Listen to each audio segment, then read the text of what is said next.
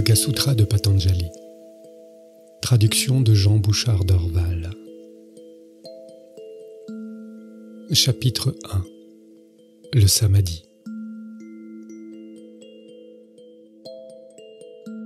Désormais commence la révélation du yoga. Le yoga est la cessation de la fragmentation mentale. Conscience est dès lors établie dans sa nature véritable. Autrement, elle s'identifie à ses formes.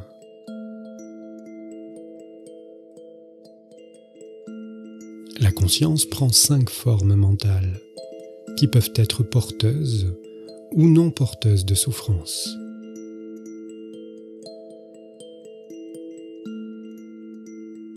Ces formes sont la connaissance juste, l'erreur, l'imagination, le sommeil et la mémoire.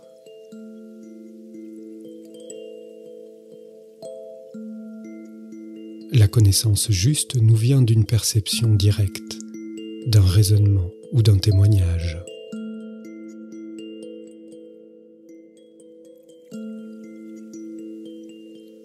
L'erreur est une connaissance inexacte, fondée sur une impression trompeuse de la réalité.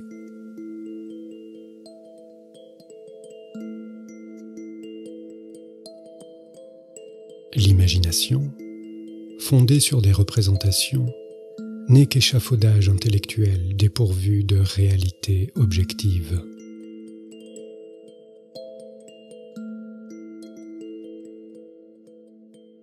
Le sommeil est la forme de conscience fondée sur l'idée de néant.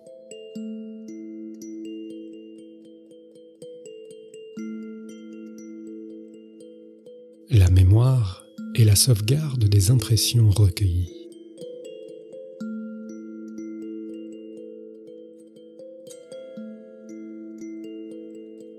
Par une pratique persistante et avec l'équanimité, nous cessons d'être le jouet de ces formes de conscience.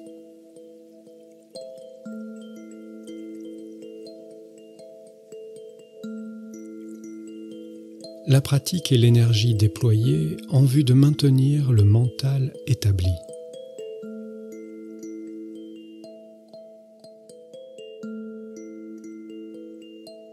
Cette pratique devient fermement enracinée si l'on s'y adonne sans interruption avec ferveur et dévotion pendant longtemps.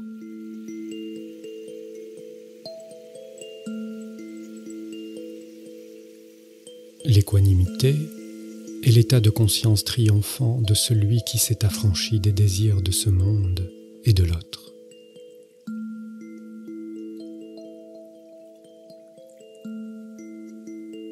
L'équanimité suprême et le détachement face au jeu des énergies fondamentales lorsque nous connaissons l'esprit.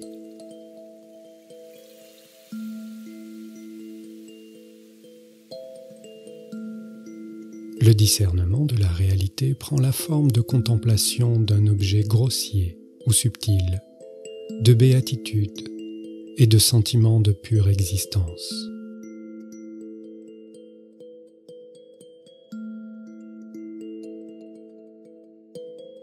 Après l'expérience répétée de l'apaisement mental, un autre état de conscience voit le jour.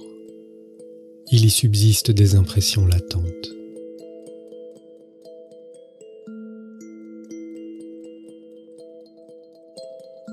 C'est l'état d'être de ceux qui sont détachés du corps et qui se sont absorbés dans la nature.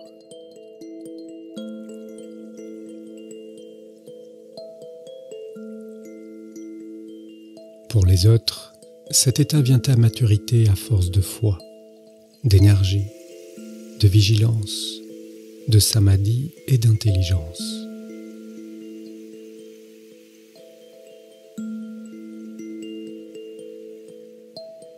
Cet état se manifeste promptement pour ceux qui s'y consacrent avec ardeur.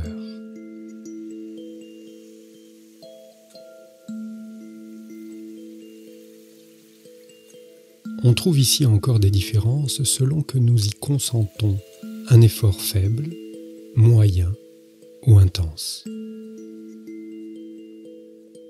On y accède aussi par l'abandon au divin.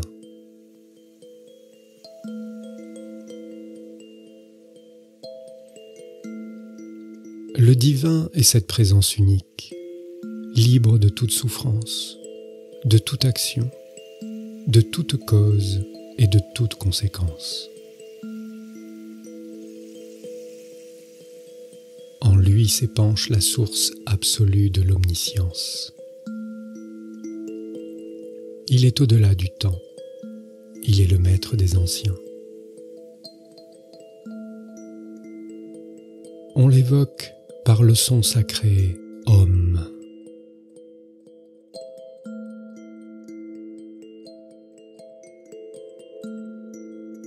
Devrions répéter le nom du divin et en réaliser l'essence.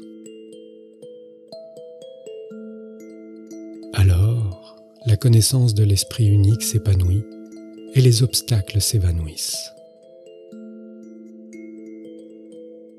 Ces obstacles sources de dispersion mentale, sont la maladie, la fatigue, le doute, la tergiversation, la mollesse, l'attachement aux habitudes, l'illusion, le découragement ainsi que l'inconstance.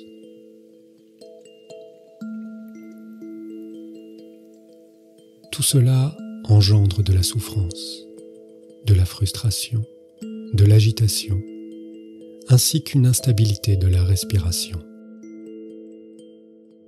Nous pouvons y remédier en contemplant souvent un seul objet.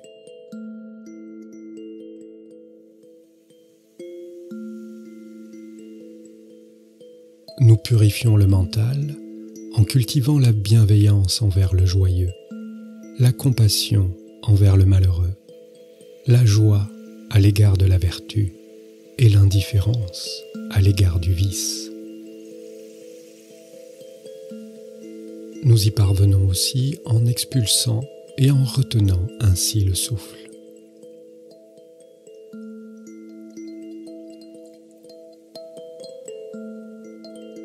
Nous pouvons atteindre la stabilité mentale en demeurant parfaitement présent à tout objet dès qu'il se manifeste. Nous y arrivons également en faisant l'expérience de la radieuse lumière intérieure, éternellement libre de douleur.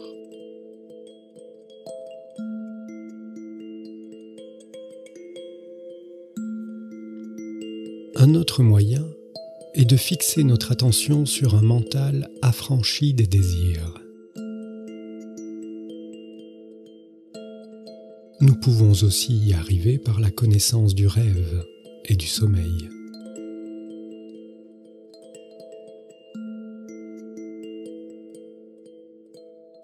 Nous y arrivons aussi en méditant sur notre objet de prédilection.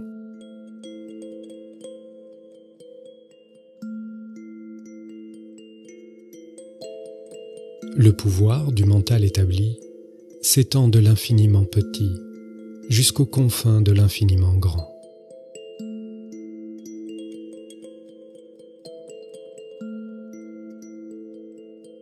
Une fois l'activité mentale calmée, le mental devient comme un cristal pur et prend la couleur de ce en quoi il demeure fondu, qu'il s'agisse de l'observateur, de l'observation ou de l'observer.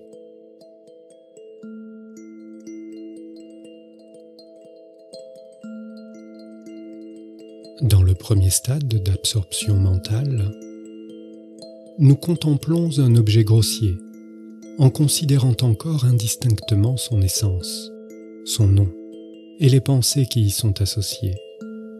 C'est la contemplation discursive.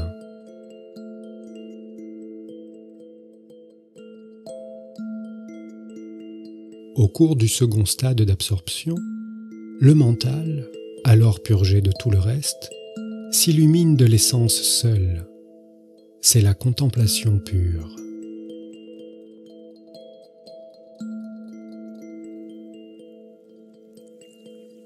On explique de même les stades d'absorption discursive et pure quand l'objet de contemplation est une forme pensée.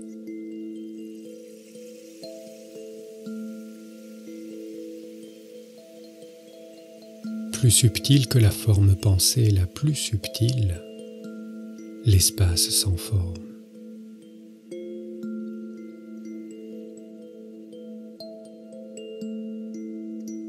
Ces états de conscience constituent des samadhis relatifs.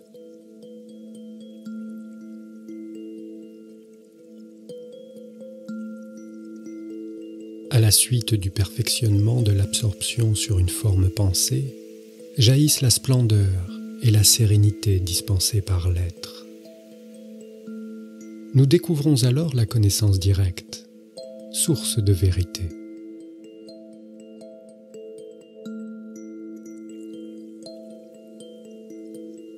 Cette connaissance est d'une toute autre étoffe que celle acquise par un témoignage ou par un raisonnement, car elle touche directement l'essence du réel. L'impression mentale qui en émerge désamorce les autres impressions.